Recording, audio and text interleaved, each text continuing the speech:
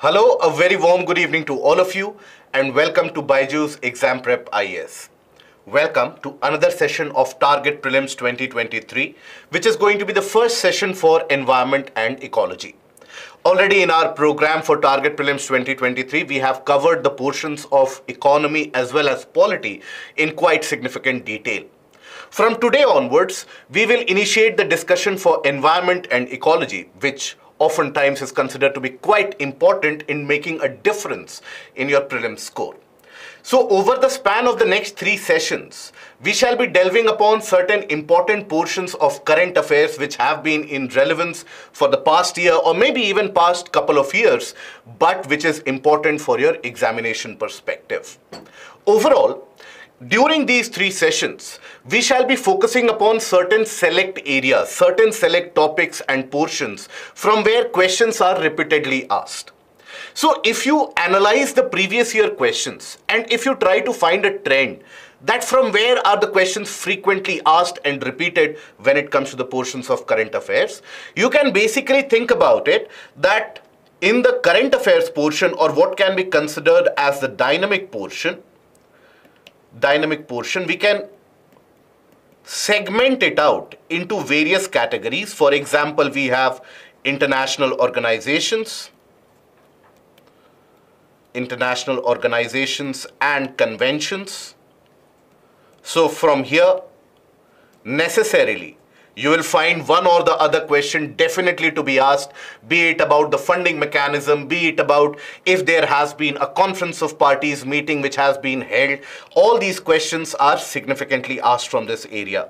Then also from the portion of current affairs because various aspects of pollution they oftentimes are in news. So pollution then national legislations which have been amended or various government schemes which have been brought about. For example the amrit dharohar scheme. For example when we talk about the mishti scheme or even the amendments which have been made to the wildlife act the amendments which have been made to the e-waste management act all those are also important so the second stage or the second compartmentalization that we can carry out can be for government schemes.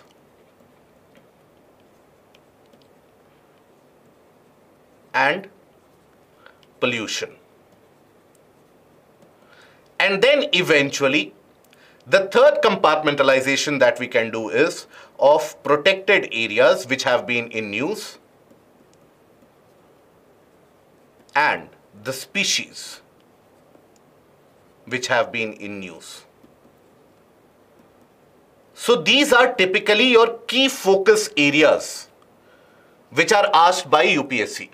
Now, any kind of question from the area of current affairs can be put into each of them or either one of them. For example, if a question is asked about Ramsar sites, then that comes under this particular portion. If a question is asked about Convention on Biological Diversity or UNFCCC, that can be put under this category. So accordingly, we shall hold our discussion. So today's discussion shall be centered around international organizations and conventions.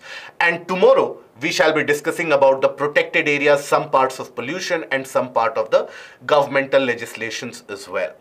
Now, as we start or initiate the discussion, we shall be talking about what can be the relevant answer, and why that is the relevant answer what are the nuances that you have to pick up when you are reading a particular question so that you don't commit silly mistakes and you don't achieve negative marks in that and you will also be able to uh, put your own answer by the method of poll and we shall try to make this session as interactive as possible whereby any questions that you have in between we shall try to address those questions as well periodically so without further ado, let us initiate the discussion and let us initiate from the first topic, which is going to refer to the portion of tiger census. Now recently, we celebrated 50 years of Project Tiger in our country. And that was the occasion when we released the tiger census, giving us an idea about the tiger population as of 2022. So here, this question is based upon that. Now, with reference to the tiger census recently in news, consider the following statements. Now, it is a biennial exercise carried out by NTCA, National Tiger Conservation Authority to provide an exact count of the tiger population in India. Second statement. The launch of Project Tiger in 1973 paved the way for the conduction of the first tiger census across the country. The third statement, India now accounts for more than 70% of the global tiger population and M stripes and CATRAT are the tools which help in measuring the tiger population in India. So here we have to find out which of the statements are correct. Now when it comes to tiger census, there is a significant role and a pivotal role played by NTCA. Now, when you think about NTCA, it is a statutory body. It is a statutory organization. That again is something you should keep in mind. Now, is it a biennial exercise? Biennial means something which is carried out every two years. But that is not the case. When we talk about the tiger count and the tiger population, it is something which is carried out every four years. So this is going to be incorrect because it is carried out every four years. Now, when was this initiated? The tiger census was initiated in 2006 when you had the census which told us that the numbers of tiger or the tiger population in the wild has reduced to around 1411, 1411 odd individuals that we find spread across the country. So since that point of time, 2006, 2010, 14, 18 and 22, so you have had the conduction of this census since 2006 onwards. So the launch of Project Tiger in 1973 paved the way for conduction of the first census. This is also going to be incorrect. Then, India now accounts for more than 70% of the global tiger population. This is going to be correct. Overall, our tiger population has increased substantially. We'll take a look at the population numbers as well. We'll take a look at the regions as well and the various tiger reserves as well after we come across and after we solve this question. Then M stripes and CATRAT. Now these are mechanisms or mobile applications and also AI based tools which help us ensure a veracity in terms of tiger population which helps us ensure that there is no double counting which is done and there is a substantial amount of authenticity that you can associate with the tiger population. So 4 is also going to be correct here. So the correct answer in this case is going to be C that is 3 and 4 only. I hope most of you would have got this portion as correct. But nonetheless, when we take a look at the tiger census in general, here you have to understand that status of tigers in India it is being measured since 2006 onwards. Now here you will observe that in 2006, 1411, the number of tigers and 2022, this has increased to a whopping 3167. However, having said that, from the period of the last census, if you consider the last census period, it was spanning between 2014 to 2018. That was the period of last census. Now, during that period of time, the growth in tiger population, the growth was roughly around 30% and more. And this time, in this census population or in this census period if you consider that is 2018 to 2022 here in this time period the growth has been around 6%. So the growth has been there but there has been a significant amount of dip in the growth rate. Now why do you think that is the case? Even despite of the fact that we have declared close to around many more tiger reserves in the meanwhile if we think about the number of tiger reserves that we have in India, what is the number that we have? We have close to around 53 tiger reserves in our country as of now. But still you will find that the growth in population is not very significant. That is attributed to various factors such as you have fragmentation of habitat which has happened various different tiger range areas they have been reduced in terms of size and tiger is a solitary animal whereby it will require significant amount of area on its own. It cannot be a situation where in a 100 square kilometer area you can fit in 20 tigers and you have the expectation that if humans can survive, you can also survive. That kind of logic doesn't fly here.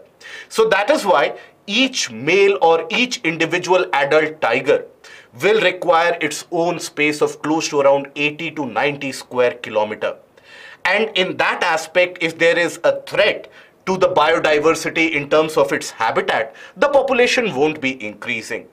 And that is the expectation going ahead in the future as well. That now the population of tigers are going to stagnate significantly. It is not going to keep on increasing exponentially. We'll never reach a situation where we have the elephant population in thousands. We cannot have that. So that is why it is going to have a limited growth rate from now on. Having said that, a few facts which are important and relevant for your examination. So how this census is carried out and who carries out this census. From here, you can have various different types of questions which can be twisted, which can be asked. So the National Tiger Conservation Authority in collaboration with the State Forest Department, various NGOs who do the ground level work, as well as the Wildlife Institute of India so here you have to keep in mind that Wildlife Institute of India in the guidance of NTCA as well as the State Forest Department. You can always get a question framed that whether IUCN carries this out or not or WWF carries this out or not. So there you have to understand that who carries out this particular census. Then it is carried out every four years. And what is CATRAT and M stripes? So CATRAT stands for Camera Trap Data Repository and Analysis Tool. So what is a camera trap? So camera traps, these are basically installed and these are fixated in the various trees and other places in the forested area. And as soon as there is any motion in front of them, immediately a picture is clicked. And that is how we are able to get an idea about the number of tigers which are there. But there also you can have an issue of duplication. You can have double counting which can be carried out because it is very difficult to spot individual tiger population separately. So that is why CATRAT makes use of artificial intelligence and neural network models in order to avoid the duplication which has been carried out or which is being carried out in any particular place. And when we talk about M stripes, M stripes is monitoring system for tigers intensive protection and ecological status. Now here it uses GPS data in order to geotag where a particular image has been taken, where a particular tiger has been found. So if another multiple number of tigers have been found in the same region, there is some fallacy which lies in the data because tigers will require their own larger individual areas. Now here oftentimes as a candidate the immediate amount of attraction is that we should learn all the tiger reserves in the country. But ideally that should not be done because if you take a look at it, we have more than 50 individual tiger reserves. Around 53 tiger reserves have been declared across the country. So it is not humanly possible for all of you to learn all the tiger reserves, to learn significant amount of elephant reserves, wildlife sanctuaries, national parks, Ramsar sites, biodiversity hotspots. If you start learning all of them, the numbers will exceed into 800, 900, which is simply inhumane or to expect out of yourself as well. So ideally, if you even want to take a look at the various different tiger reserves, what should be done is state-wise analysis. So state-wise tiger population should be looked into. Now here, and the tiger number of tiger reserves that you have that should be looked into so those particular states which have a greater number of tiger reserves those should be emphasized for example here let's say if you consider the state of either Mizoram or if you consider the state of Jharkhand. Now in both these states you have one individual tiger reserve and in both these tiger reserves since the last census itself the tiger population has not been found in significant and substantial portion. So always these kinds of reserves should never be emphasized into. In Jharkhand, for example, you have Palamu Tiger Reserve. In the region of Mizoram, you have the Dampa. Then in when we talk about West Bengal, you have two tiger reserves, Sundarbans and Buxa. Buxa in the northern part of West Bengal again has never or in the past couple of census has not shown a promising result in terms of tiger population. So with this approach, ideally you should focus on the number of tiger reserves which are in Maharashtra, Madhya Pradesh, Karnataka, Tamil Nadu, and Rajasthan. These are significant number. Now, recently, there have been declaration of newer areas of protection in the northern portion of Uttar Pradesh as well. So that is again something that you can take a look into. Now, why I say that Karnataka and Madhya Pradesh, they are of particularly greater importance is that in absolute numerical terms as well, these are the states combinedly, if you consider them, they have one of the largest population of tigers in one particular region. So that is the approach that you can follow. Okay. Now, moving on to another question, very much related to this particular topic itself. Consider the following landscapes of the country. Shivalik Gangetic Plains, the Eastern Ghats, the Western Ghats, Northeastern Hills and Brahmaputra Flood Plains, and Sundarbans. Which amongst the above are the habitats where we can find the tiger population in existence? That means which of them can be considered to be natural habitats. Now here, natural habitat in itself, natural habitats of tigers. So what is it that the tigers require? They would require a kind of a tropical deciduous forest. It can be moist deciduous, it can be dry deciduous. In both these cases, tiger population will be found. Tropical deciduous. So this ranges from regions which receive around 140 150 centimeter of rainfall annually to even around 70 60 centimeter rainfall annually you will find these particular type of vegetation so you can find the tiger population there then grasslands and shrublands generally what you find in the case of open forests right now, what do we mean when we talk about open forest?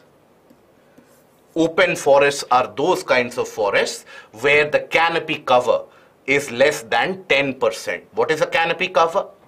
So for any tree that you have, let's say this is a tree or an area of vegetation. Now, this is what is referred to as the canopy and the canopy cover. So here when we talk about the open forest, these have a canopy cover in that area to be less than 10%. Canopy cover less than 10%. So in those areas also, you'll find a substantial amount of tiger population. So here when we talk about the various options, Shivalik Gangetic Plains, significant amount of tiger population you will find there. You have in the entire Shivalik Gangetic Plains, you have many of them from Pilibhit to Dudhwa to Rajaji. Many of the tiger reserves are situated in this. Eastern Ghats, all along the Eastern Ghats also you will find tiger population. All along the region of Andhra Pradesh, then northwestern part of Tamil Nadu, the portions of Telangana, Odisha, that is the portion. Then Western Ghats, significant amount of population both in the region of Madhya Pradesh as well as as soon as you enter into the Western Ghat region of Karnataka, there also from Anshi, Dandeli to Bhadra, you will have many tiger reserves in that area as well. Northeastern hills and Brahmaputra floodplains, Assam, significant amount of tiger population and Sundarbans, that is considered to be the home of the Royal Bengal tiger. So in this case, D, that is all of them, or rather C in fact, that is 1, 2, 3, 4 and 5, all of them will be considered to be the perfect habitat where you can find the tiger population. I hope most of you have given the correct answer and yes, majority of you have given the correct answer in this particular case. Now, moving on to the next question. With reference to the Kunming-Montreal Agreement in news recently, consider the following statement. Now, Kunming-Montreal Agreement has been in news for the past few months because of the various different declarations and the objectives and the goal setting which has been done here. So whenever you have such kind of an agreement based on environment, based on any particular goal setting, UPSC is not necessarily going to ask you a direct question about it, that what this agreement was, but from the spin-off areas or from the individual goal setting which has been done, you can always expect an individual or couple of questions.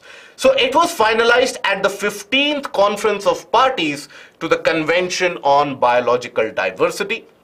To remove the issue of conflict of interest, the agreement aims to seek financing from the governments and the NGOs only conflict of interest in terms of financing, whether you have your own personal stake involved in this or not. Then, Global Environment Facility provides the funding for the UN Convention on Biological Diversity. So out of this, we have to find out which of them are correct. So the first statement, it was finalized at the 15 COP? Yes. Then to remove the issue of conflict of interest, is it going to seek funding only from the governments and NGOs? No. And this is one of the major points or one of the major factors which has been decided in this Kunming-Montreal agreement. So this is going to be incorrect statement. And this was the catch here in this entire particular question. If you manage to eliminate 2, automatically you will reach the correct answer. Wherever 2 is present, eliminate that and you will reach the correct answer. The GEF provides the funding for the UN Convention on Biological Diversity? Absolutely yes. So here, 1 and 3, that is going to be the correct answer. Now here, very briefly, to make ourselves familiar with this particular agreement, first of all, you also have to understand the basics of CBD. So Convention on Biological Diversity or CBD this was arrived at when? In 1992 at the Rio Summit. Rio Summit. Now, here, this CBD is funded by GEF. GEF. Now, for any convention in general, whenever you have any kind of climatic convention or any kind of international convention which is arrived at, you will generally observe a kind of protocol which follows it. Now, what is the difference between each of them? Oftentimes, we get confused between what is a convention and what is a protocol. You will hear about Kyoto Protocol, Montreal Protocol. You will hear all of these terms. So, what is the difference between these two? Understand it in very simple terms. When we talk about convention, it always refers to a larger objective. It always talks about achieving a larger objective. But it does not set in place any kind of set targets, any kind of framework about how to achieve that objective. So in order to have that fixed time frame, in order to have that fixed guideline about how to achieve that objective, you have the initiation of protocols. Think about it. For example, you can take the analogy. Let's suppose all of you decide something that few of you get together that we will prepare for civil services examination. Now, when you will clear it, or what is your time scale? When you will finish the portion? In which year will you appear for general studies? In which year will you be able to finalize the portion of optional? You have not decided anything. You have set a larger objective. I will clear the civil services examination. That can be referred to as the convention. Right? And let's suppose after a few days all of you then decide to sit together that we have set an objective but we have not defined any particular goal so you set to, uh, sit together and then you decide that in two months, let's say we'll complete the revision, etc., etc. Now that is where you do an individual goal setting, a time frame setting. So that will be the protocol to the convention.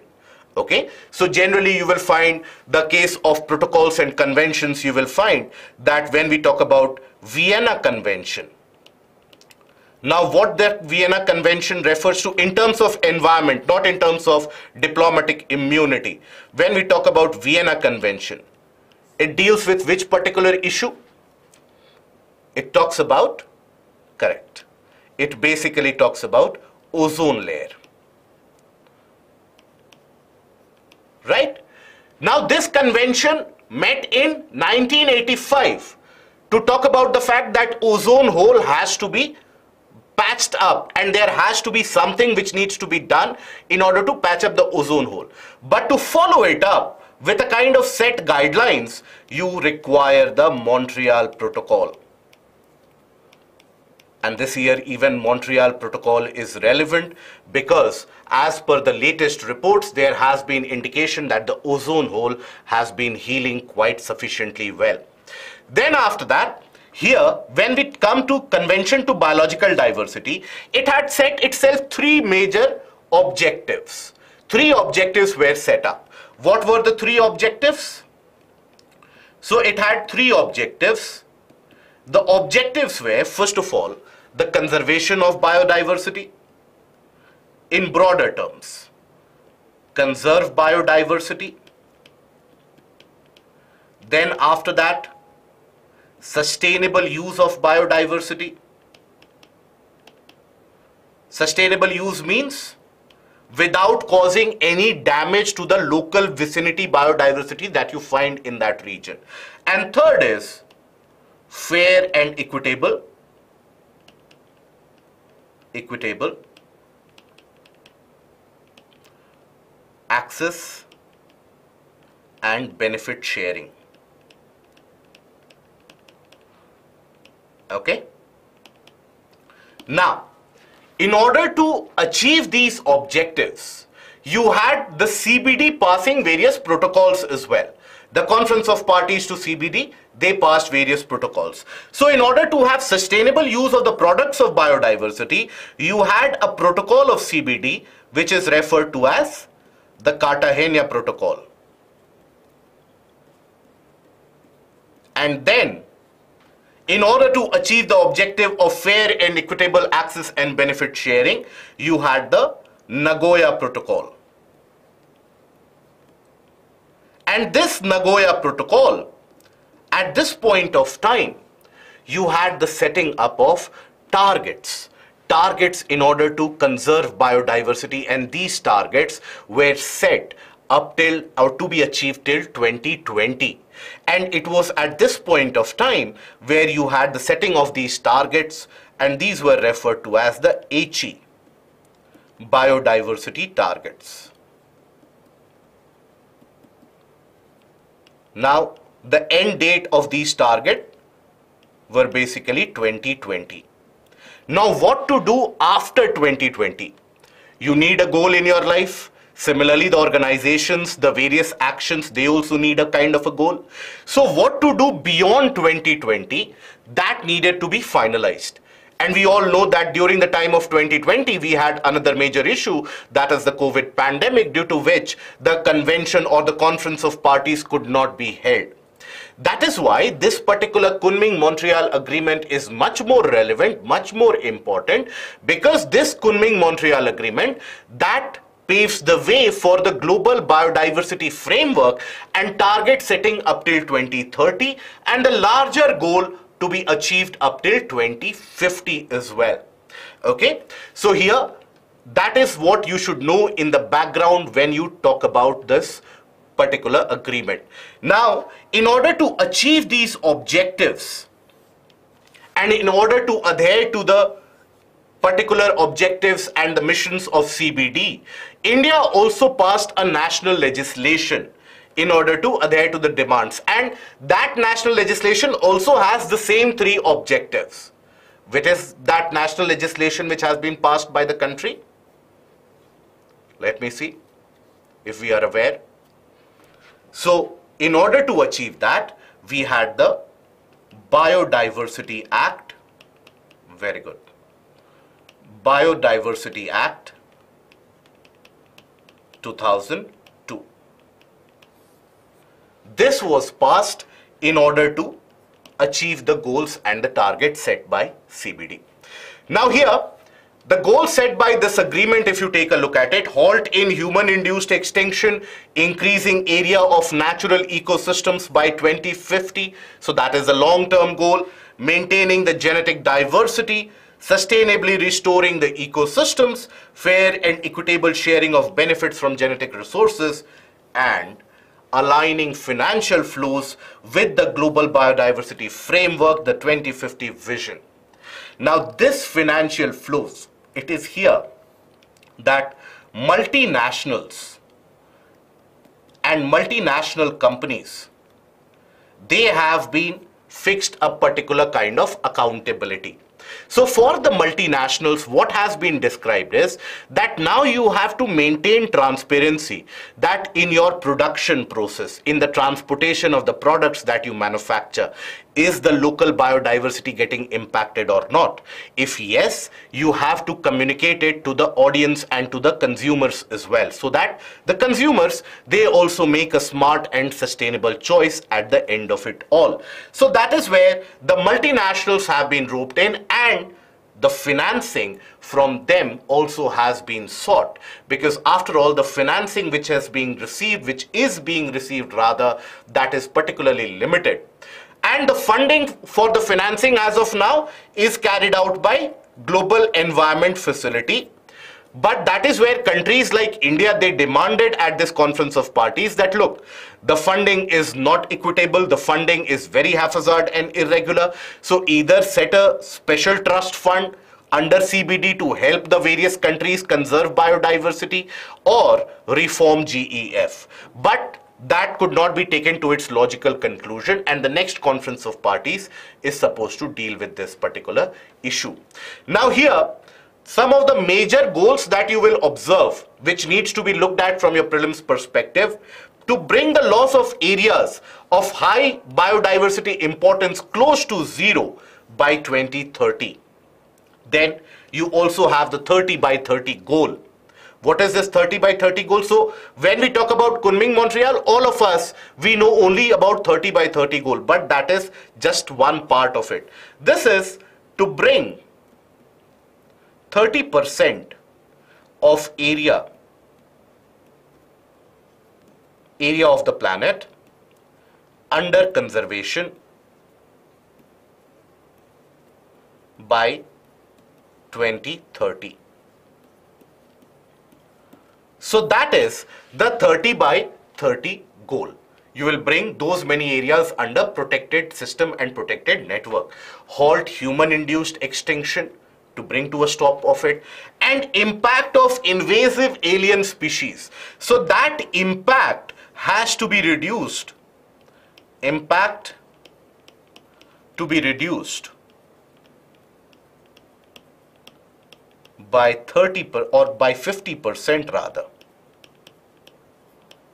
by 2030 okay? So these particular targets need to be looked at for your prelims in significantly greater detail. Okay? Now reduce pollution risk and minimize the impact of climate change. These are also some of the other targets which have been defined. Now, these are very, very similar. If you look at the Aichi biodiversity targets, there also the goals overall are very similar. Here, you have a kind of a fixed quantification of the goal. 30 by 30 by 50% to zero. So that quantification has happened. Otherwise, the goals have largely remained unchanged from the case of Aichi target setting up till 2020.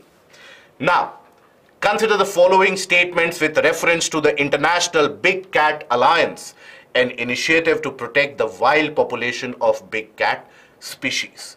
Now here, International Big Cat Alliance is an initiative launched by India in order to conserve the big cat population.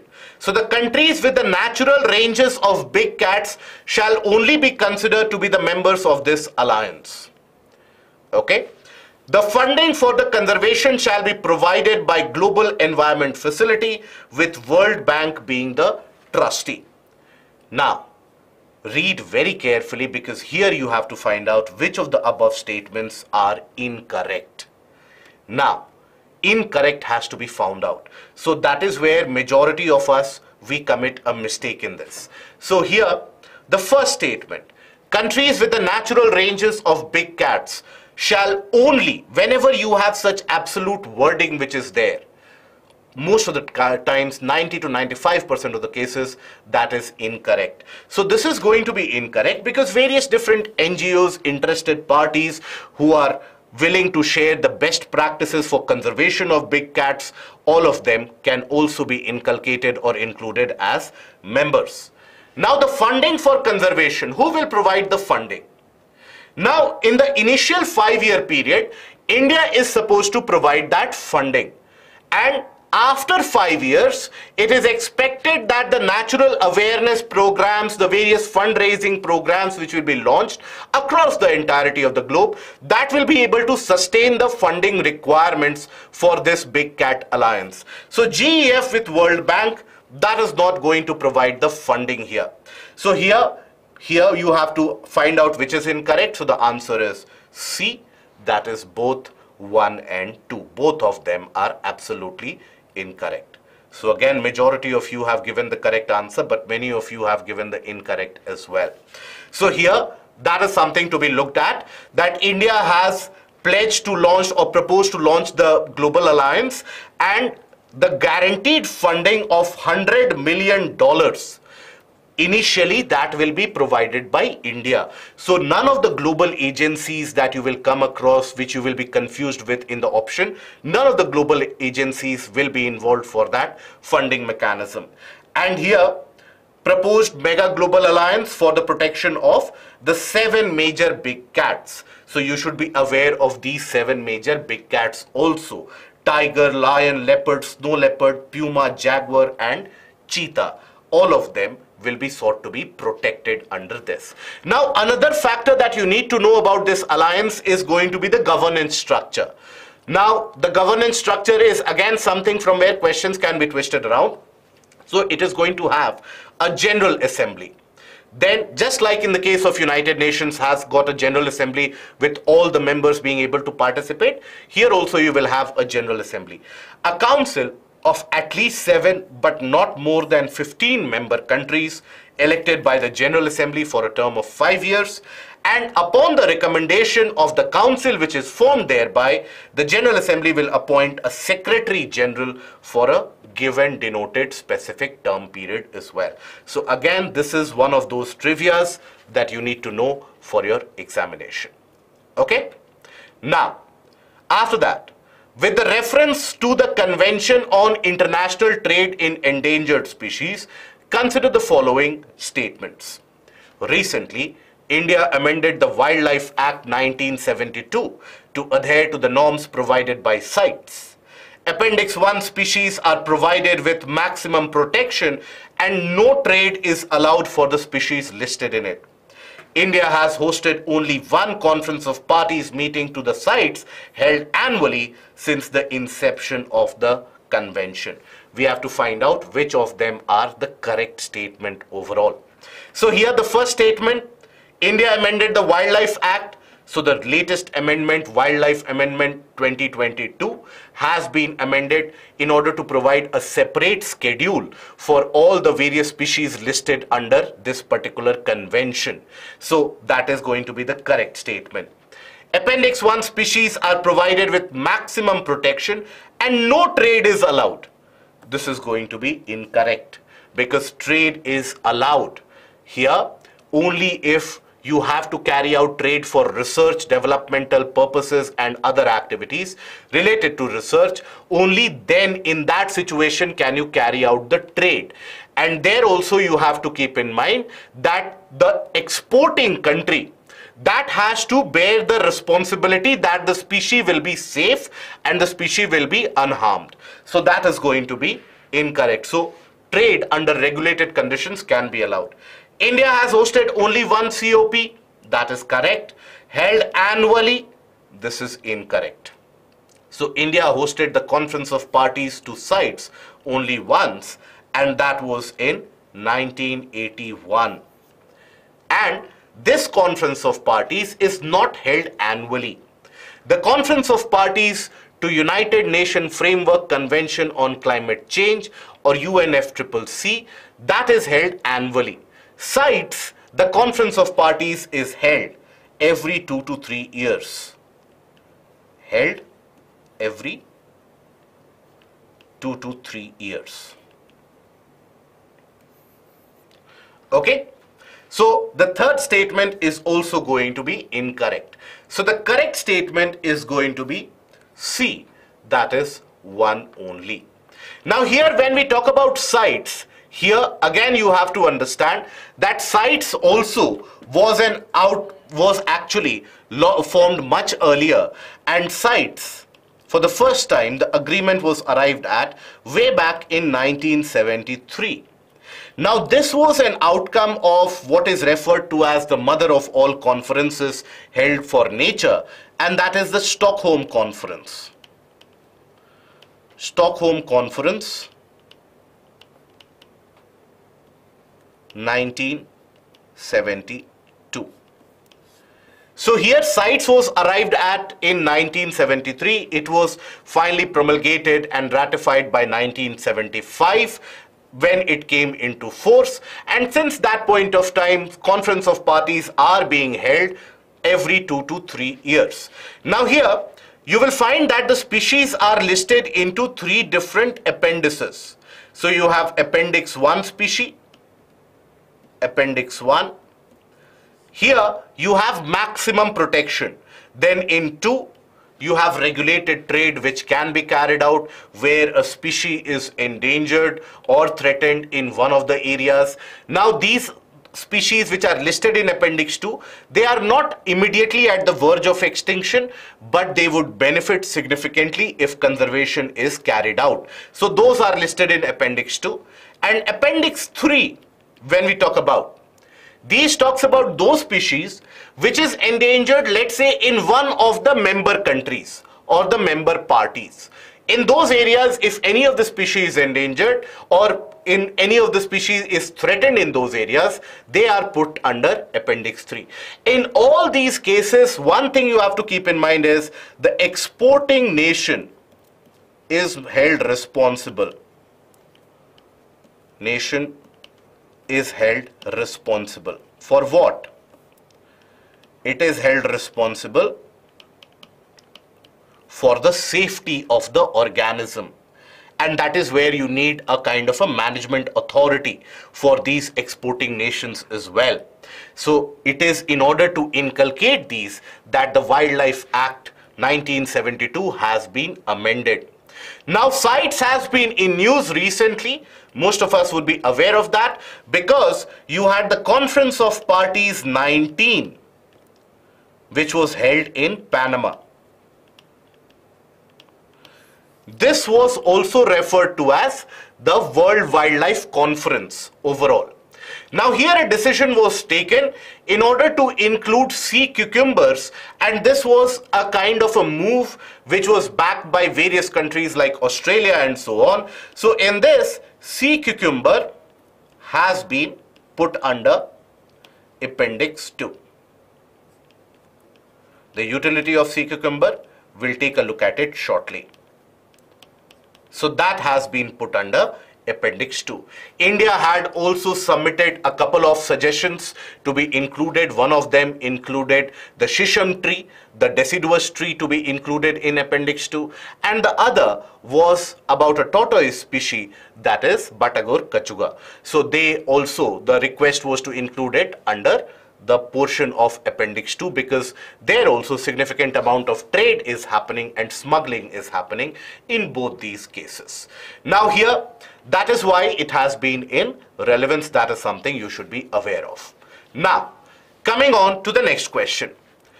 With reference to the pH levels of oceanic waters consider the following statements the pH level of oceanic water is reducing at an alarming rate due to increased CO2 emissions in the atmosphere.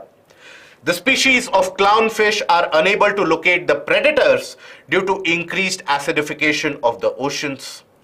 Sea cucumbers are vital to help control the acidification of oceans through their excretions that they carry out. The increased CO2 absorption shall benefit the growth of coral reefs by increasing the rate of photosynthesis.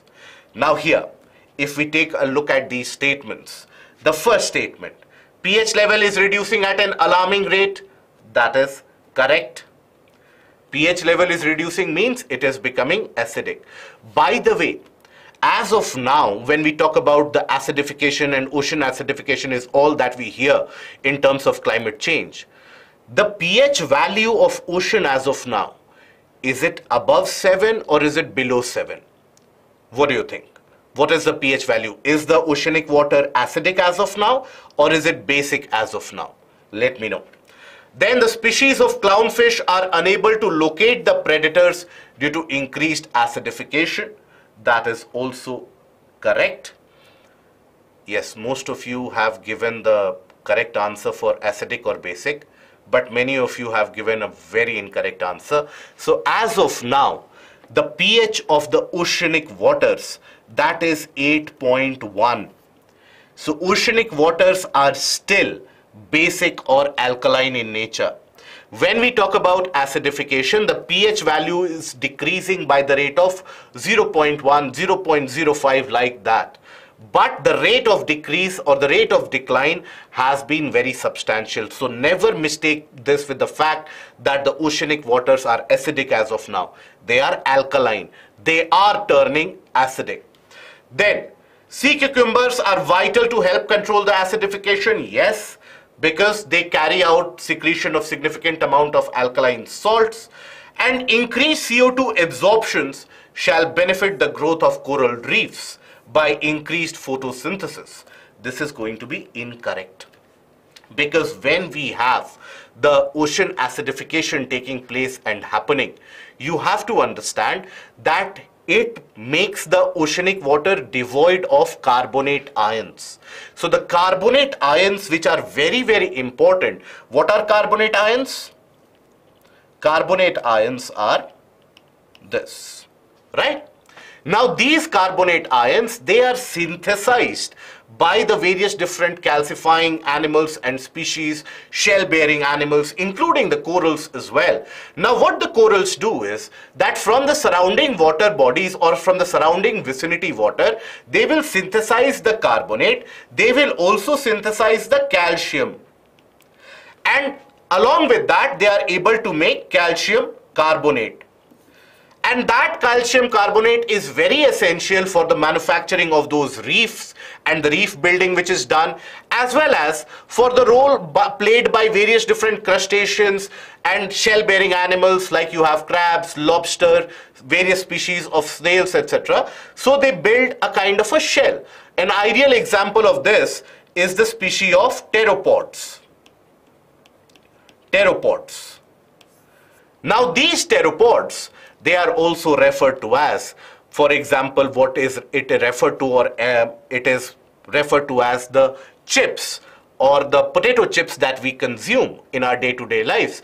Pteropods, they solve the same purpose in terms of marine ecosystem and the marine environment because these are consumed by a host of variety of different species as a kind of edible snack items. Now these pteropods, they have a soft or a kind of a small shell around them in which they conceal their soft body structure. With increasing acidification which is happening, the shell building activity that is getting inhibited due to which these pteropods are finding it very difficult to survive which is impacting the entirety of the oceanic food chain as well. So in this case, which is the answer which is going to be correct? You have B, 1, 2 and 3 which are going to be correct here. Okay, majority of you have given the correct answer here. Now, in this case, when we talk about ocean acidification, ocean acidification. Now, few things, a recap of it which is relevant. As of now, pH is 18 or 8.1. It is alkaline. And increased CO2 emission, CO2 emission means what? It means greater absorption, let's say this is the oceanic surface, greater absorption by oceanic water. Absorption. And when you have greater absorption in water and you don't have any other activities which are going to consume this carbon dioxide, what happens or what results as a process is that carbonate ions are consumed. Ions are consumed. Not only the shell-bearing animals, but even as we take, took a look of clownfish, Clownfish in their larval stages, they are unable to find a perfect habitat. They are unable to get away from their predators if the water starts turning acidic. So it impacts a wide range of biodiversity in general. But then, this is not the only impact that we have. Increased CO2 emissions means what? Increased greenhouse effect and due to increased greenhouse effect you have increased temperature of the atmosphere. Now, when the atmospheric temperature increases, the sea surface temperature or the oceanic temperature also increases. Increases. Now, overall, I hope we are aware that the oceanic waters they act as a sink or an absorber of around 25 to 30 percent of the carbon dioxide which is present. So oceanic water turns out to be a kind of a natural sink and the carbon which is absorbed by this oceanic water what is that carbon referred to as? We have a classification of carbon you have purple, you have green, you have blue carbon. There is a classification. So the carbon dioxide which is absorbed directly by the oceanic water, that is referred to as what? Blue carbon. Now here you have to understand that when the oceanic temperature increases beyond a point, the ocean is unable to absorb carbon dioxide anymore and the oceanic water they turn out to be net emitters of carbon dioxide. So that is when the oceanic water due to this becomes net emitter of carbon dioxide.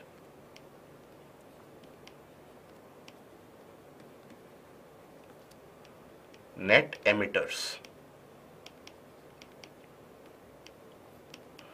So what this will do? This will further feed back the entire loop and give a boost to the entire feedback mechanism.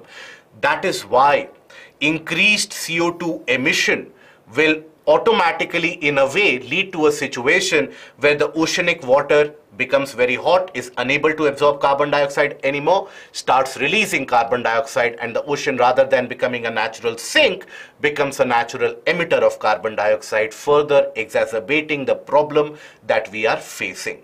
So that is why the carbon dioxide emission needs to be controlled. Now, in one way where we can treat this problem or one of the solutions, one of the mechanisms by which we can treat this problem is by iron fertilization. Iron fertilization of oceans. How? And what is there to be done in this? So basically in this what is done is that small iron filings they are spread over in the oceanic water and when that small iron filings they are spread over those iron filings in the presence of sunlight they will boost the growth of phytoplanktons. So it boosts the growth of the growth of phytoplanktons. And when you have a significant proportion of phytoplanktons, these significantly help the provision of food for the food chain as well and they carry out photosynthesis. So they will absorb CO2 by photosynthesis.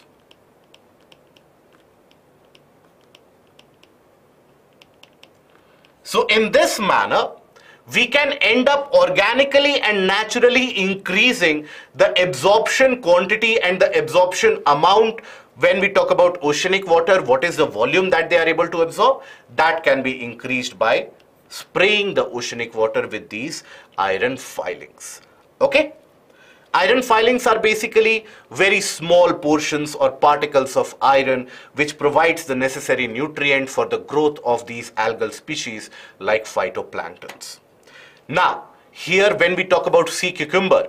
Now sea cucumber is also relevant in terms of CITES because it has been added in the appendix 2 of CITES. Now these are echinoderms. Like you have sea urchins and starfish, these are echinoderms. Now are they to be found across Indian coastline? Yes, they can be found across Indian coastline as well. There has been significant amount of cases which have been reported in the recent past about smuggling of sea cucumbers from the Tamil Nadu coastline. So they can be found. They are very similar in terms of shape to your normal cucumber, but they have a kind of a locomotive feature where they can move with the help of the feet which can get stuck to the ground. Now these are crucial to the ecosystem. Why? Because they are very important decomposers and decomposers are important in terms of returning the nutrients back into the system, recycling of the nutrient. So they convert the material, the decomposing organic matter into recyclable nutrients for other marine life. In addition, feeding and excretion by the cucumbers that increases the alkalinity buffering against ocean acidification. So this has been in news because it has been included in appendix 2 okay? Now then the next question. With regards to offshore wind generation consider the following statements it is a more reliable energy generation source as compared to onshore wind generation the Global Offshore Wind Alliance has been initiated by IRENA, that is International Renewable Energy Agency, and the Global Wind Energy Council. So this is about offshore wind generation. So here, the first statement, it is going to be correct. Why? Because what do we mean by offshore wind generation? Offshore wind is something which is happening or the wind generation or the electricity or energy generation capacity which is coming from the areas which are not on the land in the water body. Generally, when we talk about offshore centers of wind generation or wind energy generation, these are situated many nautical miles into the sea. Now here you have to understand the reasoning behind that. The reasoning is very simple. Let's say we talk about the land area itself. Let's say we talk about the peninsular region, right? Now here when we talk about the land areas, now the wind pattern that can change. That can change on a daily basis, that can change on a seasonal basis quite frequently. But if you have such a platform, let's say which has been built over the water body, now that platform will have a regular movement of the winds regardless of let's say the magnitude or the intensity of the winds, at least the wind movement will be observed. Whereas in the case of land area, that land area might get very heated up, might develop a low pressure center, high pressure center, leading to the change in wind direction, significant variation in wind generation. And that is a major obstacle that the entire wind generation capacity is facing. Because installation of this wind uh, power or the generation of electricity by this wind, that is something which is very costly. Installation process is costly and if you don't get the re re desired reliable output, then it is not worth it.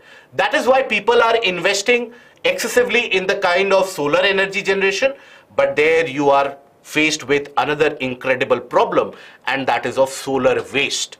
So here, that is why offshore platforms are relied upon. Now, the Global Offshore Alliance has been initiated by the Denmark-based IRENA and the Global Wind Energy Council.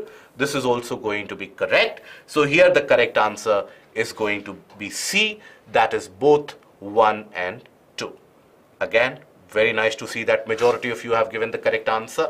So they have launched this particular alliance and that will that alliance aims to increase the wind generation capacity by around 2000 gigawatts by 2050 in order to limit the warming of the planet because we need to switch to renewables even as per India's Panchamrit designated goals which India has set or India had set for itself in Conference of Parties 26 at Glasgow in 2021. There also everybody talked about moving towards renewable energy generation.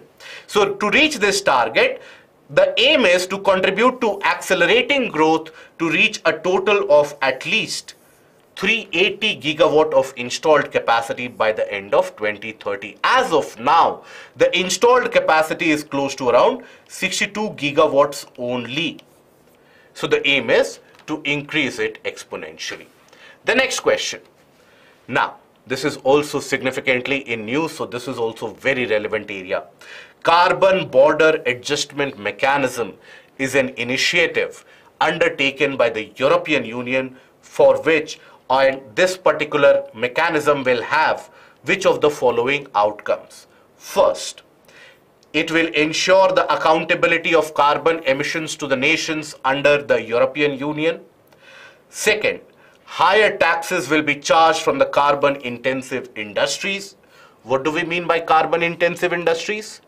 Which in their methodology and the process of production, they emit a lot of or they release a lot of carbon emissions or carbon based emissions.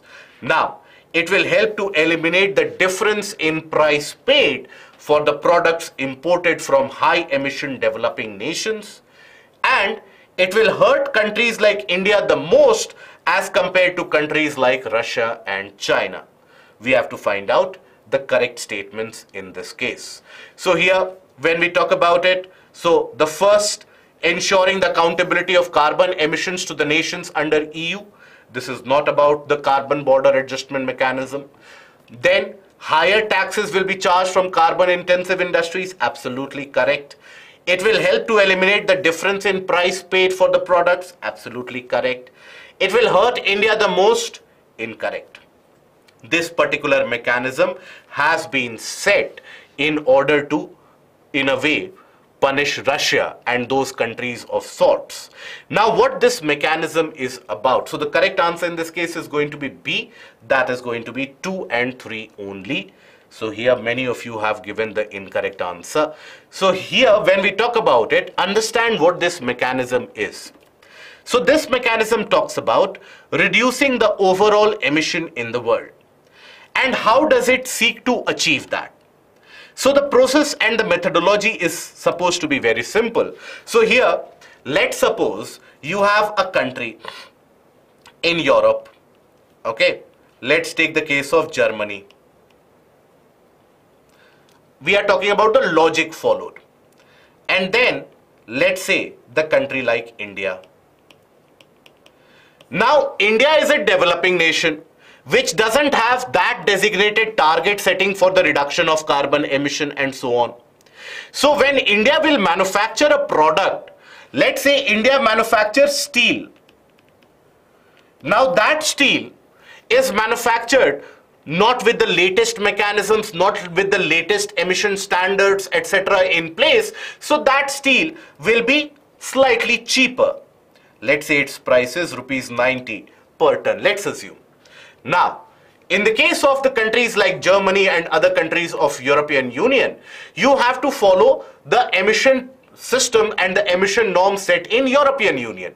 So you will have to install better equipments, better machineries, better precipitators, better scrubbers, and that will increase the cost of production. So let's suppose the steel produced in Germany, due to the modern equipments, that comes out to be rupees 110. So as of now, under the present mechanism, you have countries like India who will benefit from this particular process as of now in order to have the cheaper products being supplied into the market. So this is sought to be disincentivizing for the countries of the European Union and the production economy in European Union. So in order to counter that, in order to get rid of that kind of an anomaly, what has been done is that those developing nations which don't follow or which don't have the best emission norms etc there the carbon intensive industries for example fertilizers iron steel aluminium all these different industries have been shortlisted and there will be imposition of significant amount of tax tax will be paid when these products enter the region of European Union. So in a way, it will outdo any kind of competitive advantage that countries like India have. Now, in India, when we talk about the various products which are going to be impacted, aluminium and iron and steel, these are the major products which are going to be impacted because significant proportion of these products are being exported to European Union. And here, the taxation rate is going to be much higher as compared to the WTO prescribed limit. Just to give you a kind of an uh, example, imagine that as of now, as has been indicated by various different uh, research firms as well, as of now, if the taxation rate, let's say, is around 2 to 3% on the products crossing the border, in the situation where CBAM becomes active, in that situation, post CBAM, post CBAM, the tax rate will be increased to a whopping 25 to 28 percent.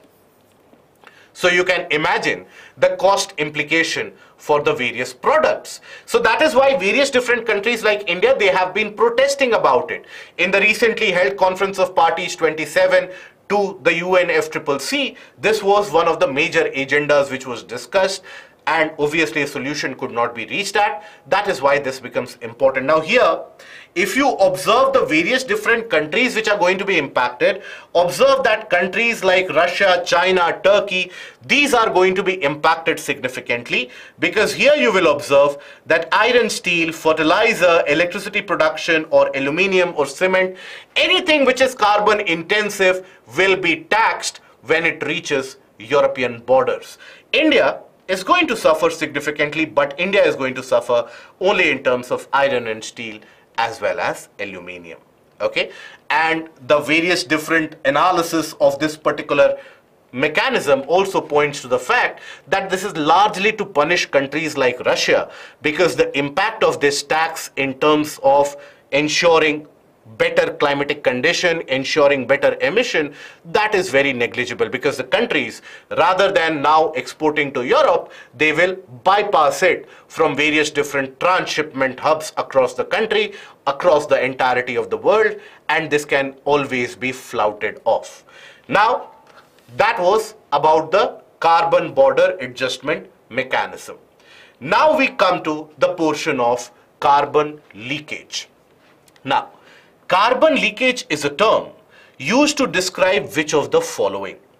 So here, what is carbon leakage? Lack of proper scrutiny leading to increased emissions by the nations. Carbon emissions caused by anthropogenic activities having a devastating impact on the nearby eco-sensitive zones. What is carbon leakage? Undermining the global efforts to combat climate change by transfer of production centers, and D, the excess emissions of carbon compounds which slowly begin to accumulate in the upper atmosphere as it leaks. So which of them can be ascribed as carbon leakage? I'll give you 20 seconds. Let us see. Uh, in the meanwhile, I'll take a question. Suraj, why did India oppose this in COP27? It is going to benefit India. No. India's iron and steel and aluminium industry that is going to be impacted quite severely. So that is why and all the other products that India has been manufacturing, it, the entire move is going to turn the entire European economy into a kind of a protectionist economy. That is why countries like India have been opposing this. So in this, the correct answer is going to be C undermining the global efforts to combat climate change by transfer of the production process. So here I see majority of you have given the incorrect answer. So when we talk about carbon leakage, what is it? Let us understand that. So as per the various different international protocols and agreements for climate change, various different countries, industrial countries, etc., they have been designated and there has been a target which has been set that you cannot emit beyond that. Now, what the countries are doing, so let's say when we talk about first of all, the targets, targets for emission now these targets for controlling emission, these are set for developed nations. developing nations, they have been asked to voluntarily contribute to reducing the emission. There has not been a target that has been set. And which is the principle involved in this process? That the developing nations have not been uh, designed or designated a fixed target, but the developed nations have been. That is what is referred to as CBDR. That is common but differentiated responsibility. Common but differentiated responsibility. Now, it is as per this that developing nations have been given a kind of a relaxation. Now, what do countries do? Let's suppose we consider the country for today is Germany. We'll take the example of Germany always. So let's say, let's assume Germany has been set a target that you cannot emit more than assume 100 tons of CO2. Now Germany has got various different automotive productions, automat automotive factories, various different uh, coal mines and thermal power stations also are present in Germany. Now let's say Germany knows that it won't be able to fulfill its target. And if it wants to fulfill its target, it will have to compromise on its economic setup. So what very cleverly various countries have been doing is they have been shifting the production silently into the developing nation, let's say Bangladesh.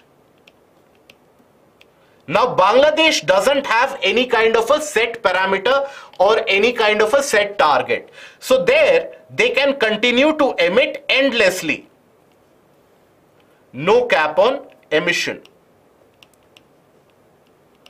Now due to this what is happening? Emission is happening but emission is not being done by Germany. So it is kind, kind of finding a loophole in the entire target setting process. So that is where carbon leakage is referred to that you are leaking carbon into the atmosphere but you are doing it in a manner to circumvent the provisions of the carbon targets which have been set as per the various conventions and protocol. Okay? So that is the aspect of leakage. Then we come to mission life. So when we talk about mission life so with reference to mission life consider the following statements so here it was introduced by India at Conference of Parties 27 to the UNFCCC. Then it seeks to launch a movement of P3 that is pro-planet people, nudging the rest of the world for a sustainable living. Actions such as water harvesting are not included in this as it seeks to combat the problems of pollution. So take around 10-20 seconds, think about it, and in that meantime, I will take uh, some question. So, uh, Raghu, what if all countries stop exporting carbon intensive things to European Union? That will boost the local production in European Union. It will always be advantageous. Okay? Right.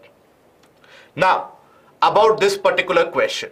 So the first statement, it was introduced at COP27 in Egypt. No. It was introduced in COP26. And that was held at Glasgow. Okay. It seeks to launch a movement of P3 people, P3 that is pro-planet people. That is going to be correct. Actions such as water harvesting are not included in this as it seeks to combat the problem of pollution. That is incorrect.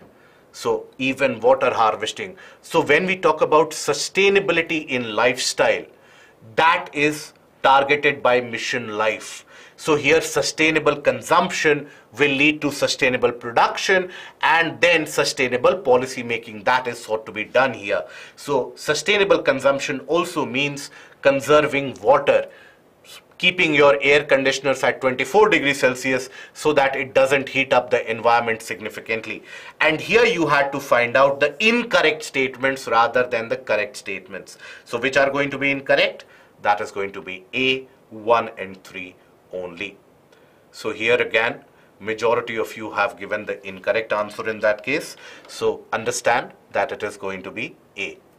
Now, the three pillars of mission life which you have to understand is basically what is revolve, going to revolve around. These are also referred to as the three pillars of mission life. So you can have questions from this also. So what are those three pillars? Changing demand. Changing demand will come how? By using sustainably. This is about sustainable use. Okay? Sustainable use. Now this sustainable use means lesser utilization of electricity and electrical equipments, better utilization, judicious utilization of water. Now uh, utilization of those products which are biodegradable, environmentally friendly. Now, if you do that, it will lead to a change in the supply system and the supplies ecosystem because now the producers will be nudged or forced to produce only those sustainable items.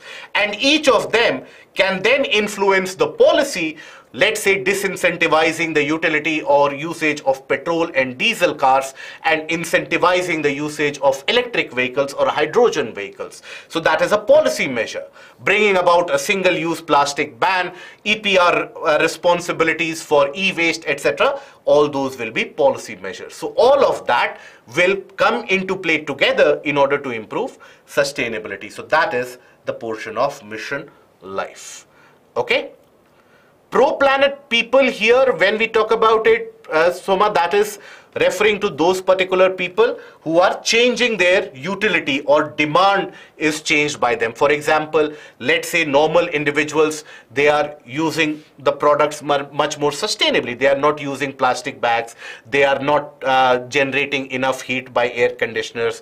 They are recycling the waters. So those will be categorized under pro-planet people. Okay? Uh, cooktop uh, to be used in households and help in reducing carbon emission? Yes.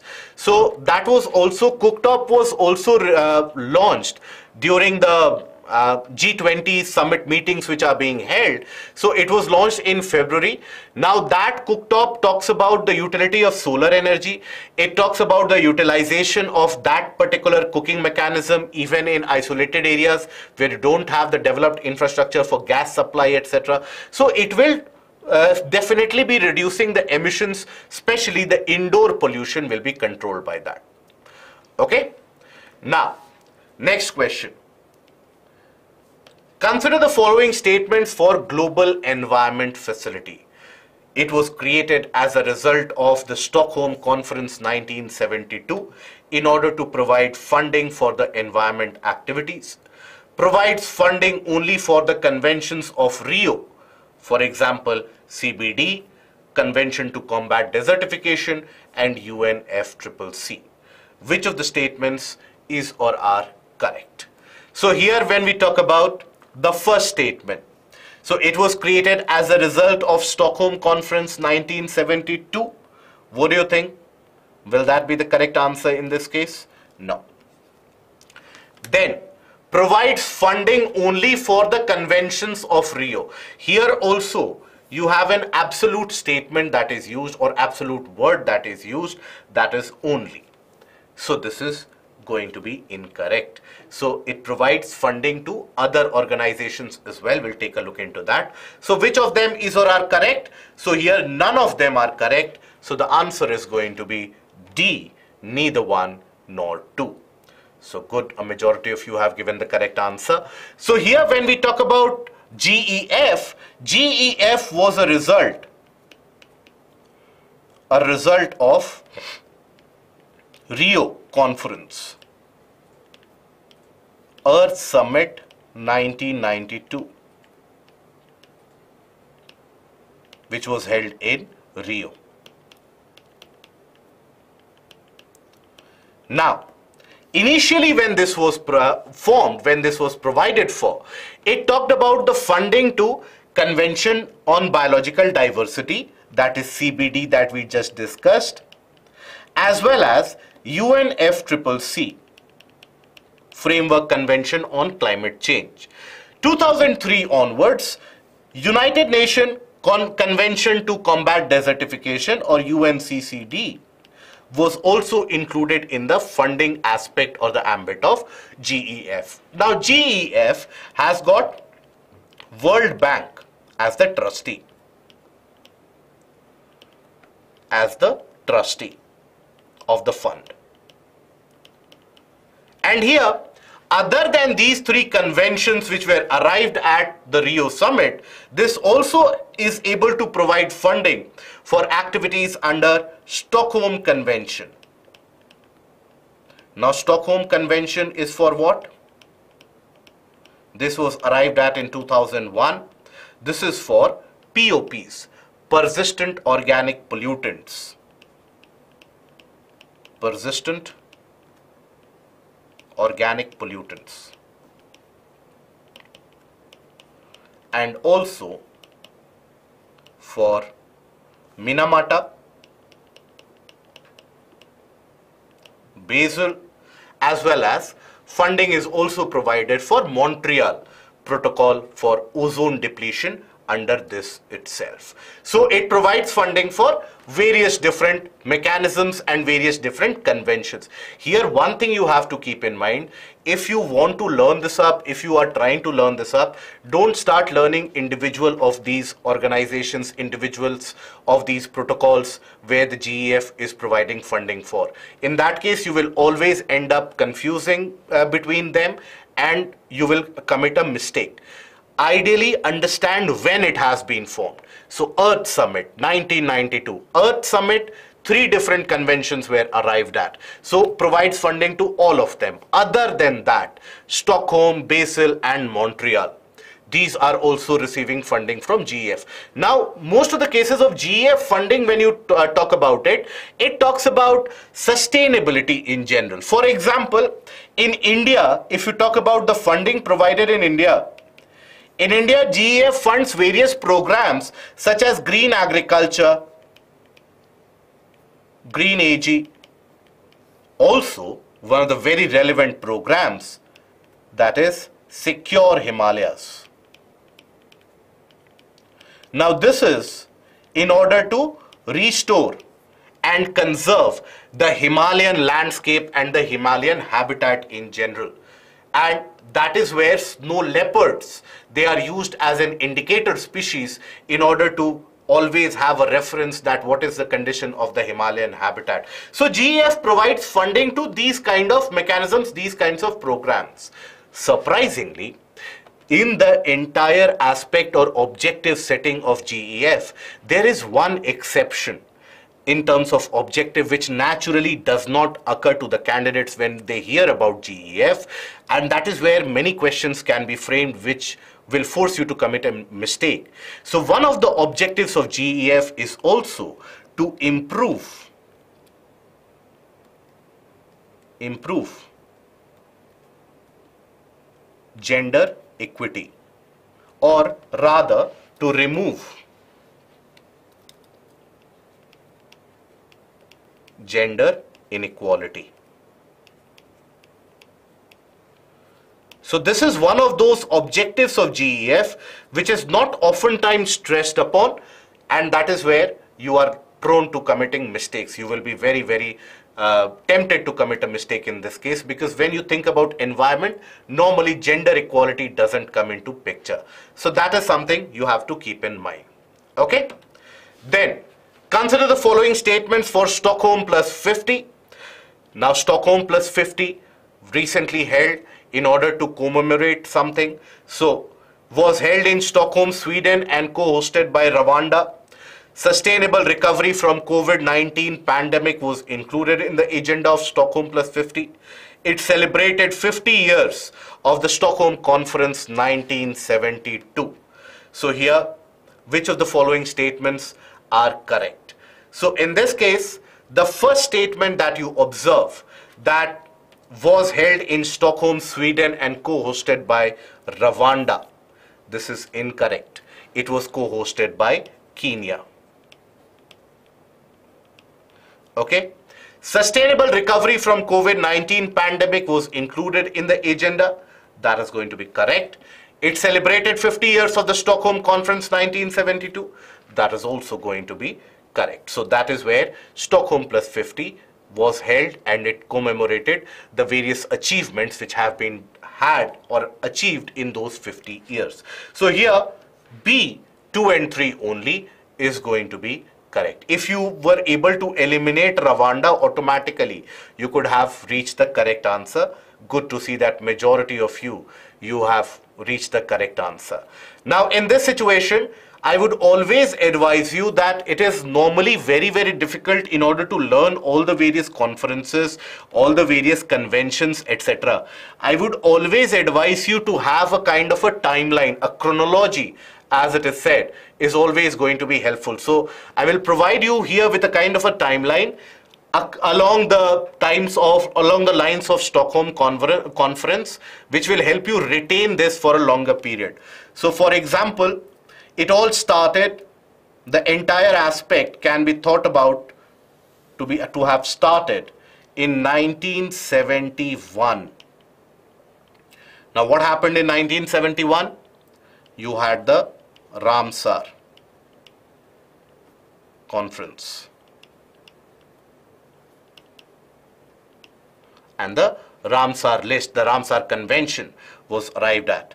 Then 1972, you had the very famous Stockholm Conference. It is in this Stockholm Conference, as a result of this, it was held on 5th of June. That is why 5th of June is celebrated as the World Environment Day.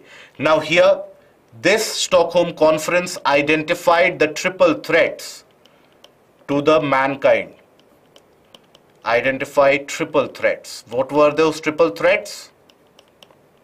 And these triple threats were talked about even in Stockholm plus 50. So triple threats faced by mankind was climate change, which was talked about, then pollution, and also loss of biodiversity. Okay? These were the triple threats which were faced and which were identified. Then you can think about it that 1973 you had CITES which was arrived at. Then there was an interregnum, a gap. Then in 1987 you had the Brundtland report which was published based on the discussions of the Stockholm conference because the Stockholm conference also talked about sustainability in general. Sustainability. So you had Brundtland report which was finalized. This talked about sustainable development.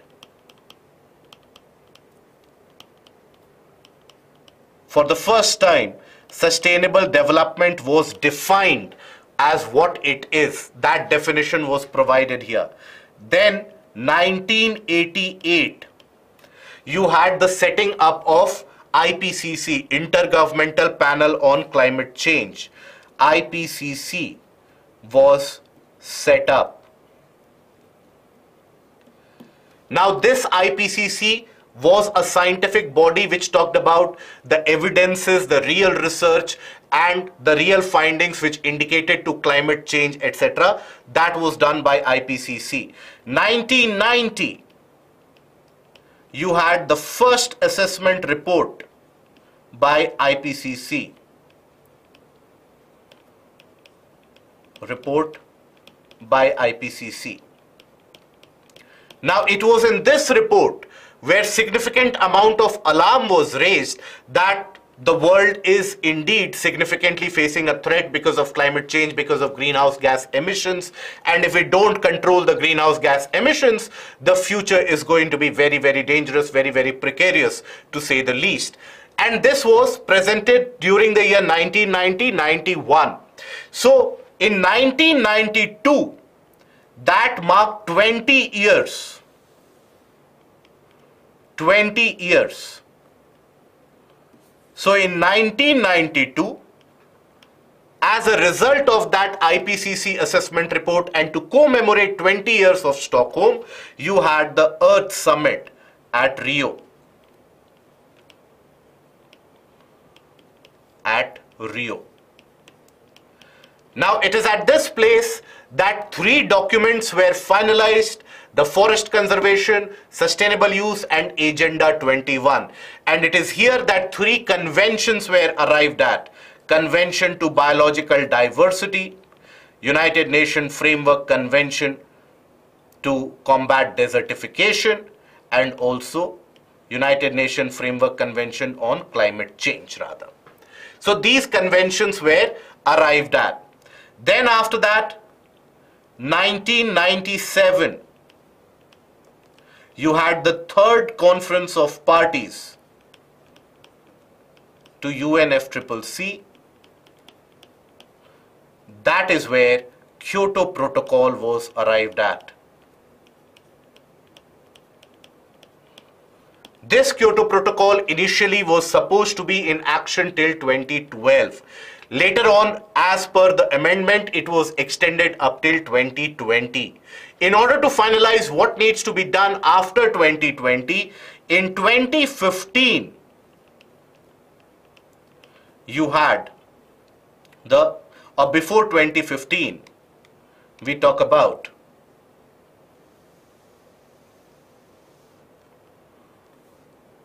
2012 because in 2012 you had 20 years of Rio summit. So here Rio plus 20 was celebrated and it is here where sustainable development goals were discussed. Sustainable development goals were finally adopted in 2015. Then in 2015, at the 21st Conference of Party to UNFCCC, you had the Paris Agreement which was finalized.